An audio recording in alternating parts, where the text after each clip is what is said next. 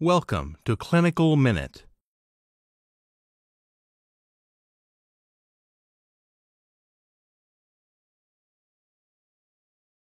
Dr. Barbara Lacey is the medical director of a 12 provider primary care practice. Her office is located in an urban setting and serves individuals from the surrounding low income communities as well as students from nearby colleges. She recently attended a grand rounds session on long acting reversible contraception and is eager to begin offering IUD services for the first time at this practice. Six of the other clinicians in Dr. Lacey's practice are interested in providing IUD insertions to their patients as well.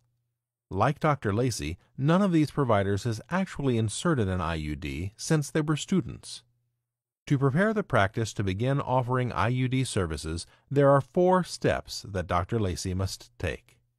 Provide training to clinicians and support staff. Develop clinic policies. Address administrative issues. And coordinate inventory and equipment issues. The first step in integrating IUD services is to make sure the staff is well trained. IUD training for clinicians and support staff should cover the IUD options currently available on the market, scientific evidence that dispels commonly held myths about IUDs, determining appropriate candidates for an IUD, techniques for insertion and removal, resources for patient education, ensuring informed consent and the process for patient follow-up. Three IUDs are currently available in the United States. Paragard is a copper-containing IUD that is approved for 10 years of use. Mirena and Skyla are levonorgestrel intrauterine devices and are sometimes also called an intrauterine system, or IUS. Mirena releases a higher dose of hormone and is approved for 5 years of use. Skyla releases a slightly lower dose and is approved for three years of use. Addressing common myths on IUDs and ensuring that clinical staff are clear on the science is one of the most important aspects of training.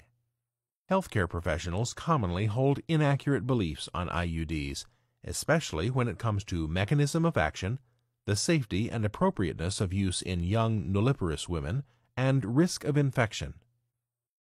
The following are true statements about IUDs that can help dispel common myths. A large body of evidence has shown that the primary mechanism by which IUDs prevent pregnancy is the creation of a hostile environment for sperm, which prevents fertilization. Women who have had ectopic pregnancies in the past are candidates for IUDs. In addition, IUDs do not increase the risk of ectopic pregnancies. An IUD can be used safely in an adolescent or woman who has not had a child. IUDs do not increase a woman's risk of infertility. The risk of infection after IUD insertion is low. In the 21 days post-insertion, the risk of infection is less than 1%. After three weeks, the risk of infection is no greater than that for the general population using no contraception. A second key component of provider training is proficiency with patient selection. Providers need to consider both the medical eligibility criteria and the clinical scenario when deciding if a woman is a candidate for IUD use. The CDC's United States Medical Eligibility Criteria for Contraceptive Use is a helpful resource for healthcare providers. All women should be counseled about the range of contraceptive options for which they are medically eligible and allowed to make an informed decision. Traditionally, many adolescents and nulliparous women have not been offered the option of an IUD during contraceptive counseling, despite their eligibility for this method. In determining patient eligibility, healthcare providers must also consider clinical factors, including possible pregnancy and sexually transmitted infections. IUDs can be inserted in most women after pregnancy has been reasonably ruled out. The copper IUD can be utilized as emergency contraception. It can be inserted to prevent a pregnancy for up to five days after sex. As emergency contraception, the copper IUD is more effective than emergency contraceptive pills because it reduces the risk of getting pregnant by more than 99%. Screening for STIs is not required prior to insertion. That said, women at risk for STIs should be tested. It is not necessary to delay the insertion of the IUD to wait for STI screening results. If the patient tests positive for an STI, she can be treated with the IUD in place. IUDs should not be placed in a patient if there is a current uterine infection or pelvic inflammatory disease. Women who have an abnormality that distorts the shape of the uterus should not use an IUD. For a patient who has recently had a baby, an IUD can be inserted within 48 hours of delivery in the obstetrical care setting. After the 48 hour window, the patient should wait four weeks or more to have an IUD inserted postpartum. IUDs can also be inserted up to seven days following a first trimester abortion, provided there is no infection. IUDs can be inserted at any time in the menstrual cycle as long as the woman is not pregnant. Backup contraception is never needed after insertion of a copper T IUD. In cases where Mirena or Skyla is inserted within five days of menses, immediately postpartum or post-abortion, or directly preceding use of another hormonal method, backup contraception is not necessary. In all other cases with a levonorgestrel intrauterine system, backup contraception should be used for seven days after insertion. Providers will require training in IUD insertion and removal techniques. Insertion training begins with teaching providers infection control measures, including how to load the IUD into the inserter without contaminating the product, and the importance of applying antiseptic to the cervix and vagina before insertion.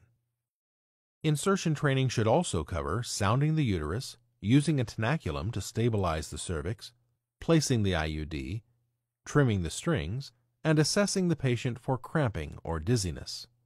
Comprehensive IUD removal training includes explaining infection control measures and demonstrating techniques to visualize and grasp the strings to remove the device.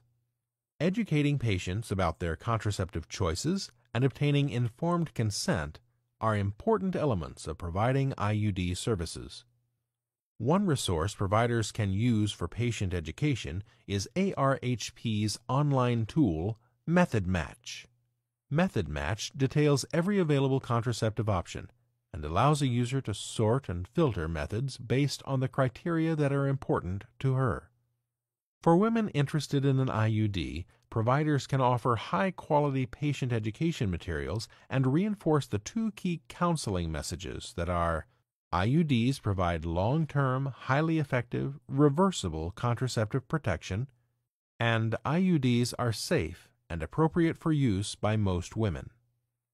Visit www.arhp.org/patient for a comprehensive collection of evidence-based educational resources designed for patients, including Method Match. Providers should be sure to counsel patients that changes in menstruation are common with an IUD.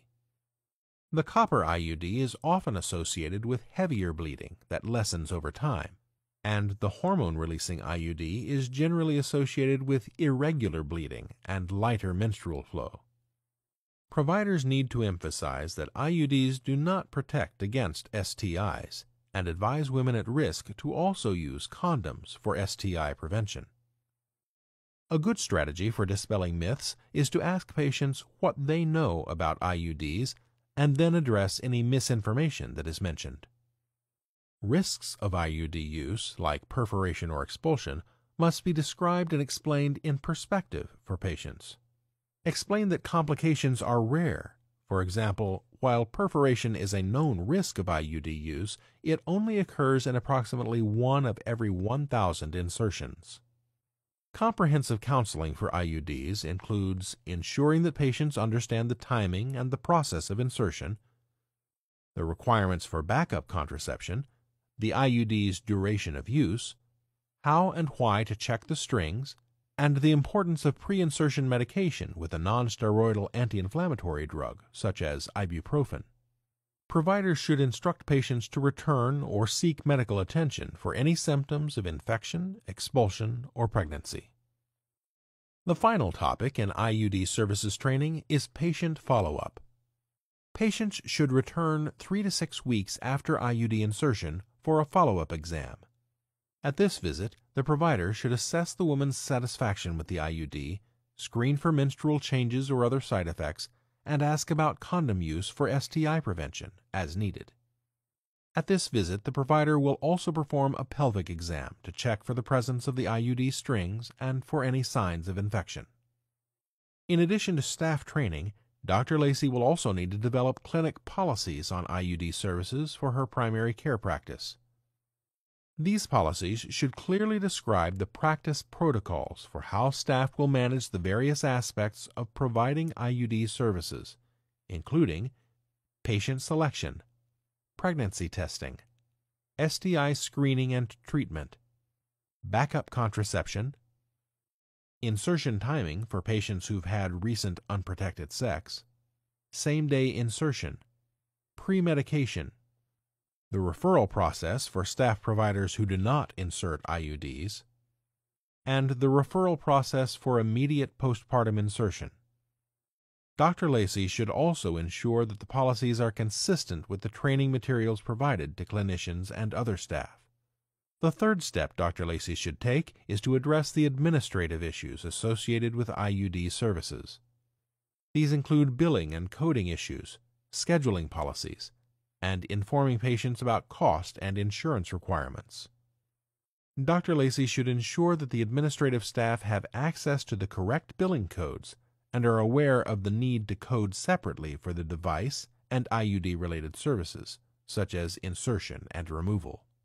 She should review the scheduling policies to ensure that the front desk staff provide patients with information that is consistent with office practices.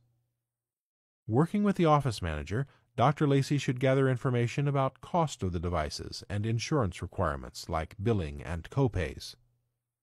She should also determine pricing for self-pay patients and possibly consider including a sliding scale system. It would be worthwhile to research the various financial assistance programs available for IUDs and make the staff aware of those resources.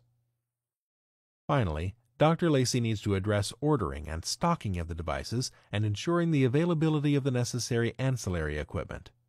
By creating a checklist of required equipment and supplies and assigning specific staff members with the responsibility of keeping them in stock, Dr. Lacey can ensure that the practice will be prepared to perform insertions. She should work with the office manager to determine a process for stocking IUDs. Because IUDs can be expensive, some practices order devices on a one-off basis once a patient schedules an insertion appointment.